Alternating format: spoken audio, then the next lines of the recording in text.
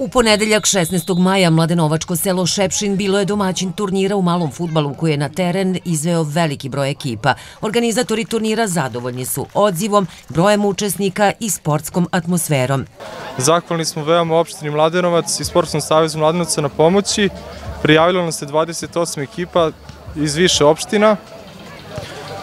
Isto smo zahvalni celom selu koje se angažovalo oko sređivanja terena i ostalih stvari vezanih za turnir. Ove godine je prvi turnir u, u opštini Mladenovac.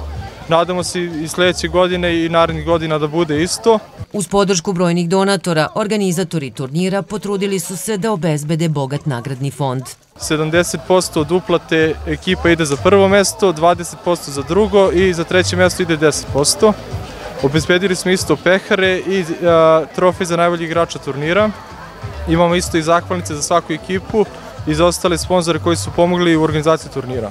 Mali futbal ima svoje poklonike, pa su poštovaoci ovog sporta mogli da uživaju u dobroj i fair play igri.